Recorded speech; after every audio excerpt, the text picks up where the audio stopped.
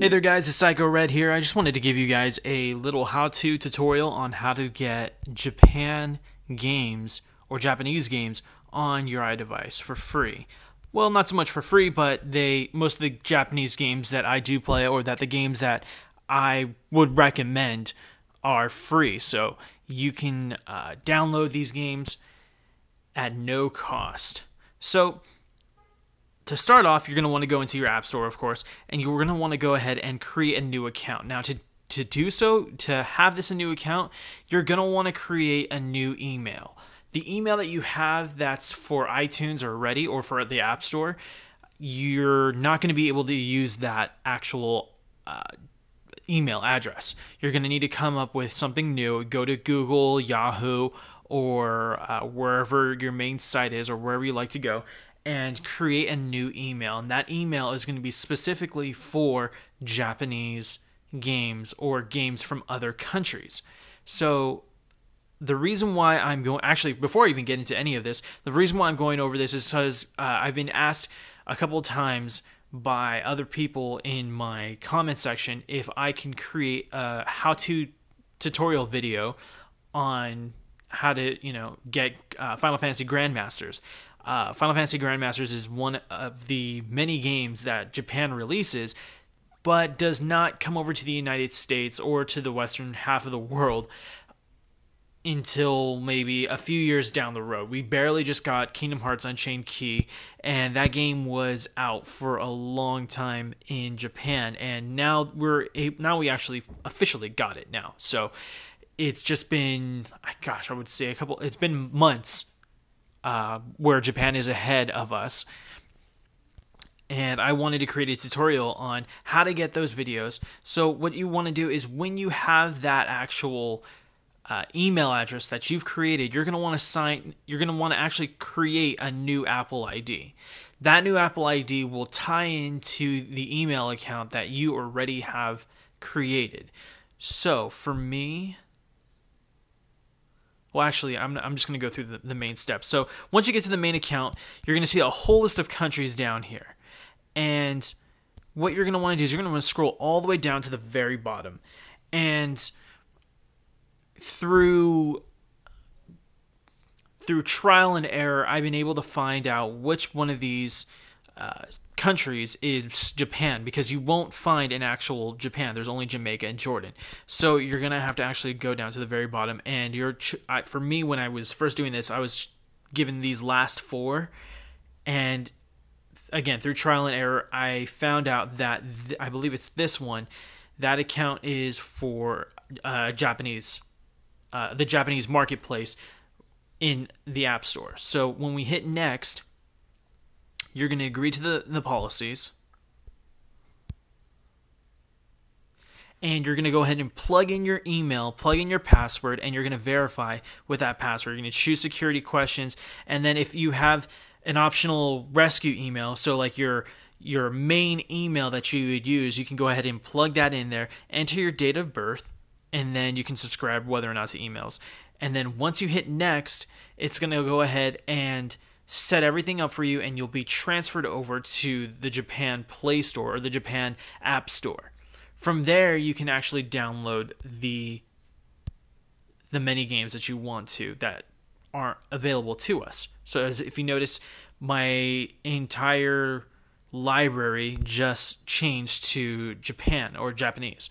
So let's see here. Let's go and search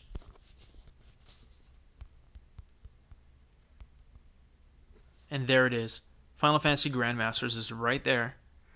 I've already ha- I already have it downloaded on my on my iDevice, so it's gonna already say open. But you're just gonna want to hit the it will say get, and you can get it from there. And then also, if you do play Final Fantasy Record Keeper, this is a great way to get the Japan version of Final Fantasy Record Keeper as well too. So I'm not even signed in into an account yet, so I'm gonna actually see what happens when you hit get and install. Yeah, see, it'll ask for your Apple ID, so you will need to create that no matter what. Um, I was hoping actually that they would just install it onto your device without actually having to put in any of the information, but you will still need that email address or the uh, Apple ID account. So that's pretty much it. It's really simple, nothing really too complex about it. Uh, just remember, and I would just keep it on a spare notes of what's your email for Japan and for and for North America if you live here in the, in the Americas. Um, or if you live in any other country, just make make sure that you keep a spare email for both accounts. So, or a spare note showing what both accounts' credentials are. Excuse me. So that's pretty much it. There's nothing really much to it. It's just it's pretty simple. Just plug in information. Um, the only thing that I actually came across that I kind of got a little bit stuck on is I'll show you right here.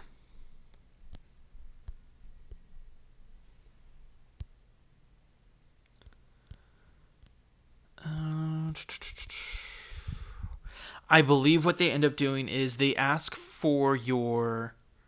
I believe the next step actually, I, yeah, actually before I even continue on, the next step actually before this is they'll ask you for your credit card information, and Visa, of course, is is used everywhere. But I believe Japan does, and correct me if I'm wrong.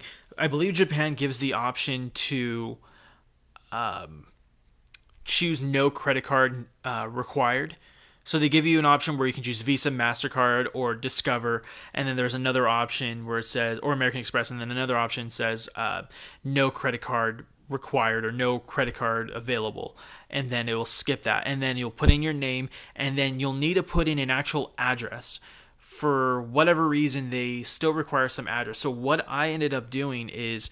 Um, I looked into, I just looked at a map of Japan and or even just online and I googled Japan and I googled like you know uh, what did I end up googling? I think I googled like a church in in Japan and I just made that church's address the address to my account. It wasn't anything too big. You can probably find uh, a McDonald's in Japan or something or a restaurant in Japan and make that the address of your App Store account. And it doesn't do anything. It doesn't do anything to I mean, they're you're really not going to get any mail from Apple. Um, there's really no reason why uh, any fictitious, uh, you know, address uh, would mess up your account. It, it hasn't messed up mine, so I, I wouldn't be too worried about that. So that's pretty much it. Um, the address was probably the, the hardest part out of it all. Just make sure you just go online and just research an address in Japan, and that's pretty much it. Um, but that's going to be me for for everything Apple Plus. This is Psycho Red here signing off. This is just the how-to tutorial on how to get a Japanese account and get Japanese games onto your iDevice for free. And I hope you guys enjoyed this video. I hope you guys have a good rest of your day as well too. Peace.